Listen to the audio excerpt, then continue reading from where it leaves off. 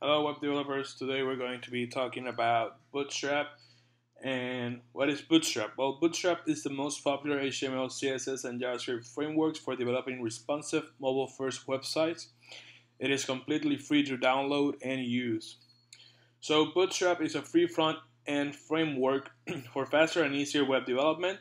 It includes HTML and CSS base design templates for typo typography, forms, buttons, tables, navigation, modals, images, carousels, and many other, as well as optional JavaScript plugins. Bootstrap also gives you the ability to easily create responsive designs. And what are responsive designs? Well, responsive designs is are you know the concept of creating websites which automatically adjust themselves to look good on all devices, from small phones to large desktops. So let's have a brief history on Bootstrap. Bootstrap was developed by Mark Otto and Jacob Thornton at Twitter. So here we have Mark Otto and Jacob Thornton, and was released as an open source product product in August 2011 on GitHub. Here's our repo for Bootstrap on GitHub. On June 2014, Bootstrap was the number one project on GitHub. So as you can see, um, many people have watched at forked this repo. There are a lot of commits, a lot of contributions. So it's it's pretty big. Okay, so why use Bootstrap? Well, the advantages of Bootstrap is that it's easy to use. We have the responsive features, the mobile first approach, and browser compatibility. Bootstrap is compatible with all, all modern browsers Chrome, Firefox, Internet Explorer, Safari, and Opera. Where are we going to get Bootstrap? Well, we can download Bootstrap right from the site getbootstrap.com. We just click download Bootstrap. We go to the download page and we click on download Bootstrap and it'll start to download.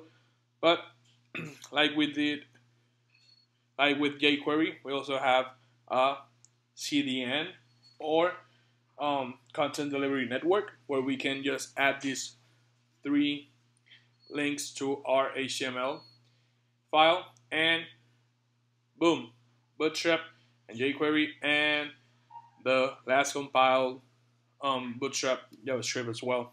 Okay, so let's go ahead and create our first page using Bootstrap. There are a few things we have to go over. Over.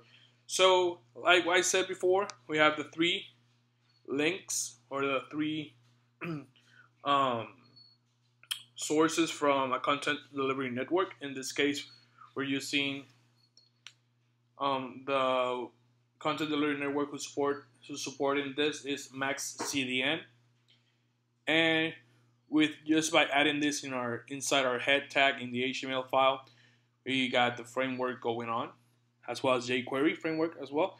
So, what are the important elements here on the Bootstrap HTML? Okay, so we have to add the HTML doc type. So we're always going to include this at the beginning of the page, right over here.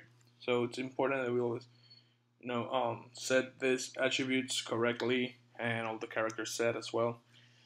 Um, the other thing it's in, what we're going to be looking out for is that we already established that Bootstrap is mobile first. So it's designed to be responsive on mobile devices. And to ensure this properly, we're going to add the following meta tag name viewport content width equals device minus width initial scale equals 1. So the width equal device minus width part sets the width of the page to follow the screen width of the device, which will vary depending on the device. And the initial scale 1 part sets the initial zoom level when the page is first loaded by the browsers. Okay, so the next thing we're going to be seeing now it's the our HTML elements and because in Bootstrap it's required to wrap everything around containers and there are two container classes to choose from there's the container class the one we have right here in this example which provides a fixed width container. And the other one we could use would be the contain the container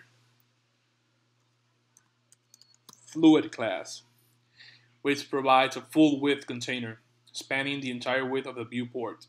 Okay, so let's here we have using the full width and you can see in this example it's not easy to see that it's responsive but it's responsive. And if I remove the container the fluid the dash fluid it's going to modify a little bit because with the container it's using a fixed width and with the container dash fluid it will be a full width container okay?